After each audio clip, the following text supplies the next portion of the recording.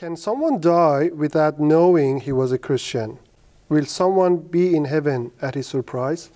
Yes, that's possible. Um, uh, the baby who dies, when a small child dies uh, of Christian families and the parents have been praying for the child, I always encourage them to perceive that their child will be brought to the Lord Jesus by their prayers and come to salvation. Uh, you remember King David when his child died, he rejoiced. He sorrowed when it suffered, but when it died, he rejoiced because he said, I will go to be with it. And so the child may not know about the Lord Jesus be saved. Likewise, those who have entered into dementia, they don't know mm, mm. anything anymore. So, yes, it's possible. God, in His mercy, will do wonderful things. Yeah, because this is the question. What will be even more surprising mm. is when we get there, I'll be there.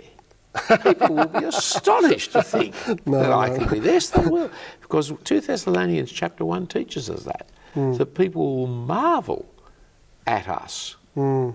It, yeah. it, will be a marvellous thing that God yeah. should rescue people like you and me. Mm. Yeah, praise the Lord for that. I think that, um, again, the, the thinking behind this question is related to our loved ones. We are thinking uh, we lost loved ones in the past, and we are thinking, okay, they, they didn't hear the gospel. Uh, would there be a chance for them? So you said there's no second chance for salvation. Mm. People have this life; they have this life. Yes. Everybody has heard the gospel. Not everybody's heard about Jesus. Mm-hmm.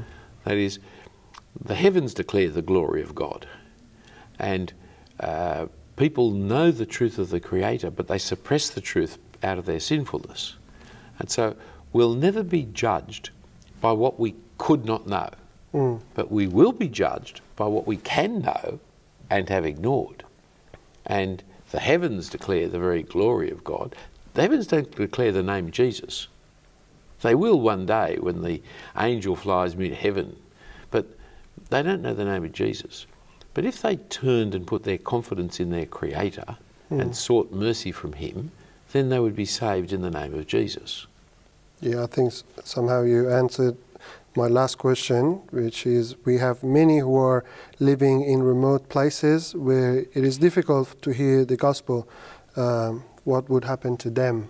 Yeah, yeah. It, it's a question that our opponents often ask us because they think they can catch us out.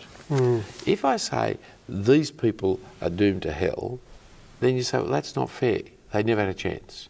If I say these people are saved, then they say, oh, you don't need the gospel. So, um, but these people did have the gospel in creation. And that's why it is fair and just that they are punished for their sin of rejecting the God of creation.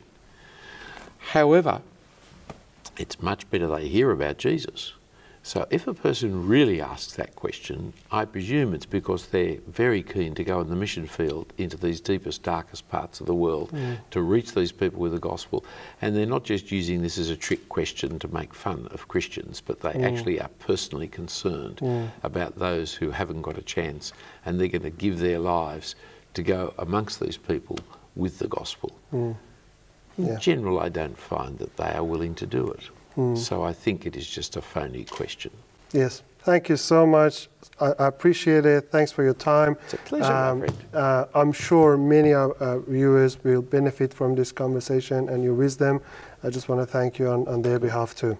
Thank you. Just one last thing. Yeah. Um, I know, I mean, would you learn something in, in Farsi and say it to our viewers? Is it's I will try, but it requires. You have to trust me. two things: one, trusting you, yeah. and secondly, I'm not real good with languages. I know. So they just have give to, it a go. They have to be very, very kind and gracious. Yes. In accepting what my I... appalling accent. That's all right. That's all right. It's, what is it you want me to uh, say? It's. I want you to say "God bless you" in Farsi. Uh, God bless you in Farsi.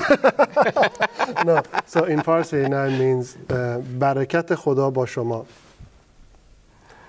بر برکت برکت خدا خدا با شما.